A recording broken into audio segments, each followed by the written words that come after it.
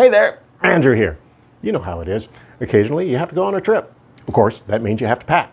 After all, you may need an extra one of these or one of these. Of course, you have to do the sanitation test. Oh, good lord.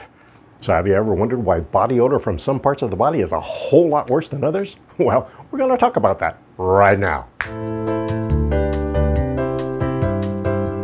check it out.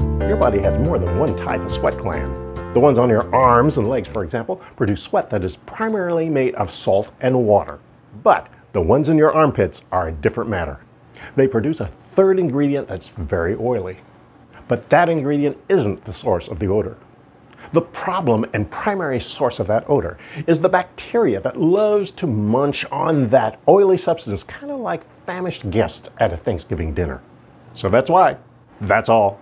See you next time.